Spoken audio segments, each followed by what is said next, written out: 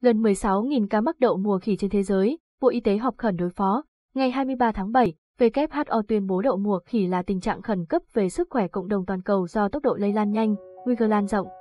Thế giới ghi nhận gần 16.000 trường hợp mắc tại 74 quốc gia, tử vong 5 trường, tỷ lệ tử vong trên số mắc là 1 trên 3.000, số này chưa thực sự thống kê hết.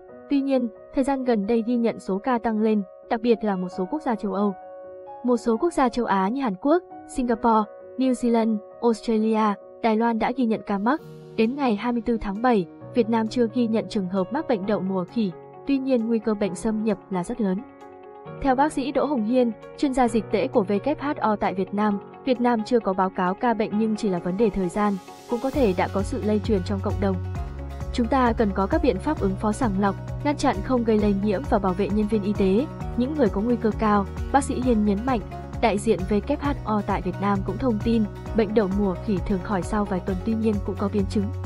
Biến chứng đậu mùa khỉ phần lớn từ các nốt phát ban nếu để nhiễm trùng có thể dẫn đến hoại tử, có thể ảnh hưởng đến phổi, nhiễm trùng máu, mất nước, viêm não, cùng theo dõi Netbeat để cập nhật những tin tức mới nhất nhé.